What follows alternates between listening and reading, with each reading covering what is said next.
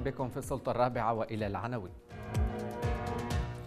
في الشرق الأوسط جهود أمريكية أممية لخفض التصعيد وإحياء السلام في اليمن. في العرب الجديد تغييرات أمنية واسعة في عدن لتوحيد الأجهزة وتقليص نفوذ الميليشيات. موقع الخليج أونلاين يتساءل عن الأزمة اليمنية وإلى ماذا تشير الجولات المكوكية في الخليج؟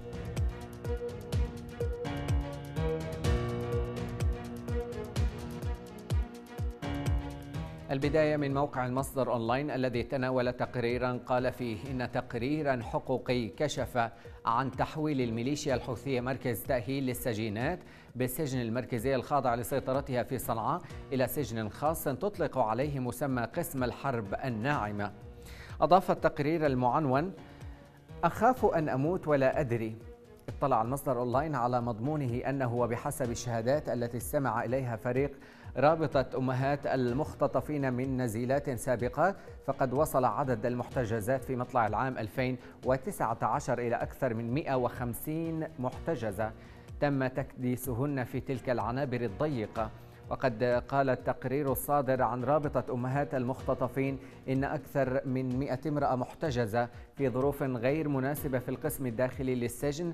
منهن أربع حالات معتقلات بتهم سياسية وعشر حالات احتجاز بتهم نصب واحتيال وثلاثة عشر حالة احتجاز لترويج الحشيش وبيعه. وتسع حالات بتهمة السرقة وأربعة عشر حالة متهمة بالقتل وحالة واحدة بالشروع في القتل وحالتي حرابة. و56 امرأة محتجزة بتهم أخلاقية. أضاف التقرير أن القسم الداخلي المستحدث يضم 36 امرأة محتجزة بتهم مختلفة لم تستطع المنظمة تكييف التهم الموجهة لهن بحسب ما تم في القسم الداخلي وبسبب التعتيم الذي تفرضه إدارة السجن على طبيعة المحتجزات في هذا القسم الخارجي وأيضا سياسة العزل التام لسجينات القسم الخارجي عن مثيلاتهن من القسم الداخلي.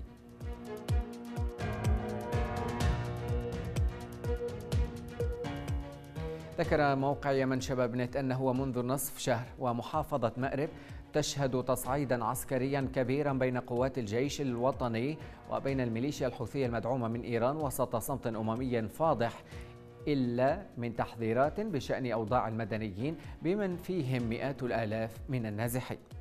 قال إذا المحلل السياسي في الشؤون الاستراتيجية والعسكرية علي الذهب ليمن شباب نت قال إن التصعيد العسكري الأخير يعكس مدى استغلال المتغيرات الداخلية وكذلك المتغيرات الإقليمية المتعلقة بالأزمة اليمنية. وقال علي الذهب ضمن حديثه ليمن شباب نت إن تلك المتغيرات الداخلية والإقليمية المفصلية تصب جميعها في محاولة إضعاف الشرعية ووضعها في موقف يضطرها لتسلم بالوضع الراهن والقبول بأي حلول للسلام تتجاوز المرجعيات الثلاث التي تصر عليها. من ضمن المتغيرات الداخلية التي أضعفت موقف الحكومة الشرعية وفقا للذهب هو تعطيل تنفيذ اتفاق الرياض بملحقيه العسكري والأمني وخروج اللجان السعودية المشرفة على تنفيذه ومغادرتها الواقع وتجمد التنفيذ فضلا عن عدم عودة مؤسسة الرئاسة إلى عدن مضيفا أن تلك الثغرات أتاحت للحوثيين التحرك والاستفادة منها واستغلالها فهم دائما يستثمرون في التناقضات الحاصلة داخل الحكومة أو داخل معسكر خصومهم.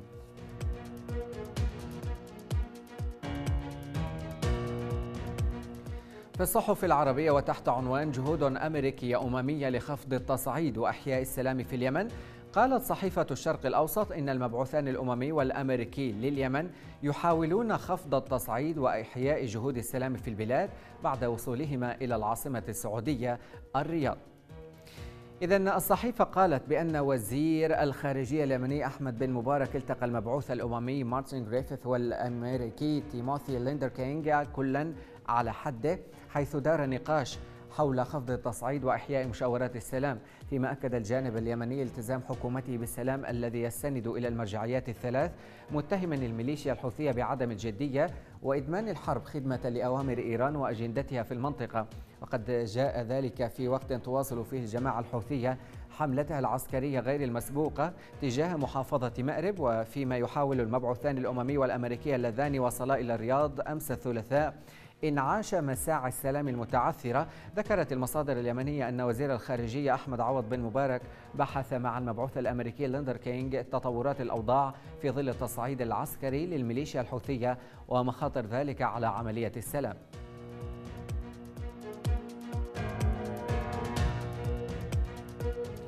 يواصل الحوثيون حملاتهم العسكرية لتصفية مشايخ القبائل والوجهاء في مناطق سيطرتهم من خلال عناصرهم المكلفة بتنفيذ تلك العمليات حيث صف الشيخ القبلي مهلل أحمد ضبعان بعد ساعات فقط من مقتل الشيخ القبلي الموالي لهم علي أبو نشطان. حول ذلك فقد نشرت كذلك صحيفة الوطن السعودية تقريرا قالت فيه إن الحوثيين لا يكتفون بقتل المشايخ بل يمارسون إهانات كبيرة ضدهم ومنها سحبهم في الشوارع بعد قتلهم وتعليقهم والتنكيل بهم وغيرها من وسائل الإهانة المختلفة. أكد مصدر خاص للصحيفة أنه من الأعراف القبلية اليمنية المعروفة أن تقدم في أثناء صلح الأموال أو الأسلحة أو الأبقار أو الجمال أو غيرها. ولكن عمد الحوثيون إلى تقديم شيء آخر غير معهود وهو الثيران وذلك لإسكات أسرة المجني عليه وقبيلته. ثم بعد ذلك يتجاهلون الالتزام بهذا التحكيم الذي أوهموا الناس بالرضوخ إليه حتى يتم تناسي الجريمة لتبدأ جريمة حوثية أخرى.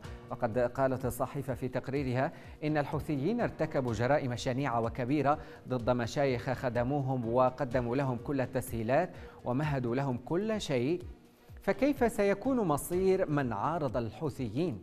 وهذا الأمر يؤكد بأن الحوثيين سيصفون الجميع دون استثناء.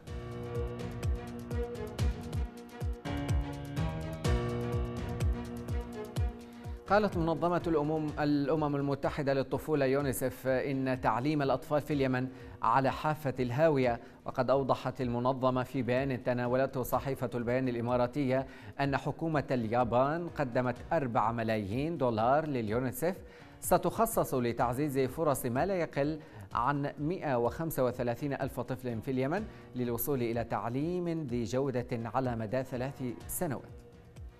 أفاد البيان كذلك بأن المنحة ستسهم في دعم ثلاثة آلاف معلم ومعلمة وذلك لتمكينهم من تقديم تعليم جيد مشيرا أيضا إلى أن هناك ما يقارب من مليوني طفل خارج المدارس منهم حوالي نصف مليون طفل تسربوا من التعليم منذ عام 2015 وقد نقل البيان عن ممثل اليونيسف فيليب دواميا القولة يحتاج أطفال اليمن أكثر من أي وقت مضى إلى مساعدة عاجلة فتعليم الأطفال في البلاد على حافة الهاوية. مضيفا أن الأطفال غير الملتحقين بالمدارس معرضون بشكل متزايد لخطر العنف وسوء المعاملة والاستغلال وما لذلك من تأثيرات عميقة محتملة على مستقبلهم.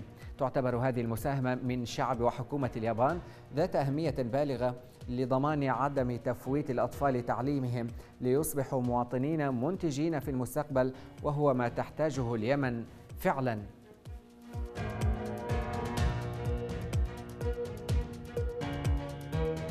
صحيفة العرب الجديد نشرت تقريرا قالت فيه إن العاصمة اليمنية المؤقتة عدن شهدت تغييرات أمنية واسعة للمرة الأولى منذ أكثر من ست سنوات من الحرب وقد طالت التغييرات التي أصدرها مدير الأمن الجديد لعدن العميد مطهر الشعيبي. طالت مراكز الشرطة فضلا عن عدد من المرافق والمراكز والقطاعات الأمنية الهامة ضمن خطوات عملية لضبط الأوضاع الأمنية فيها والحد من نفوذ الميليشيات. وفقا للمعلومات التي حصل عليها العرب الجديد من مصادرها فإن التغييرات الأمنية والأسماء التي شملها القرارات لم تتم بناء على الولاءات لأي من الأطراف السياسية سواء الحكومة الشرعية أو المجلس الانتقالي المدعوم إماراتيا إنما خضعت لمعايير الكفاءة وطبقا لمدى تلاؤمها مع الخطة الأمنية التي تم إعدادها للعاصمة المؤقتة بعد عودة حكومة المناصفة وبدء تنفيذ خطوات اتفاق رياض. المصادر كذلك أكدت أن هذه القرارات هي بداية لخطة أمنية جديدة تهدف لتوحيد كافة الأجهزة الأمنية تحت إدارة الأمن للعاصمة وربطها مع بعض بغرفة عمليات مشتركة وإبعاد أي ميليشيا عن القيام بأي دور له صلة بالأمن ووقف أعمالها في عدن بشكل كامل. وذلك بهدف السيطرة على الأوضاع والانفلاتات الأمنية ومواجهة كل الاختلالات التي تؤثر على الحالة الأمنية في مدينة عدن.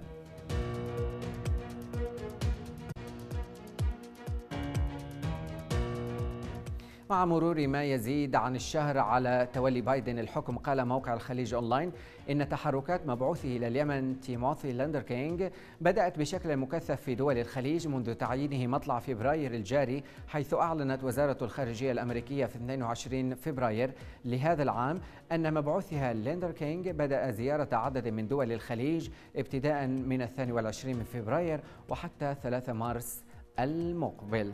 الكاتب والصحفي اليمني عبد الله المنيفي يرى أن جولات المبعوثين الأممي والأمريكي إلى الخليج تشير إلى رغبة دولية في إنهاء الحرب في اليمن مع الرغبة التي أعلنتها الإدارة الأمريكية الجديدة بعد دخولها البيت الأبيض موضحا في حديثه للخليج أونلاين أن ما يجري الآن نية للقوى الدولية في المساس بمرجعيات الحل السياسية الثلاث المتفق عليها وتحديدا منها القرار 2216 الذي يمثل قرار الشرعية الدولية ويتحدث المحلل السياسي اليمني خليل مثنى العمري عن الحراك الدبلوماسي سواء ما يقوم به جريفيث من طهران إلى الرياض إلى بروكسل أو الزيارات المتكررة للمبعوث الأمريكي.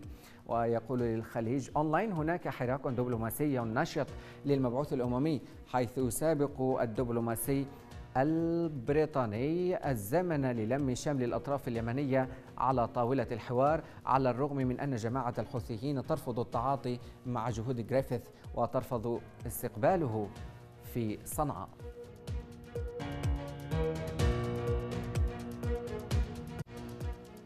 في الختام أترككم مع هذا الكاريكاتير.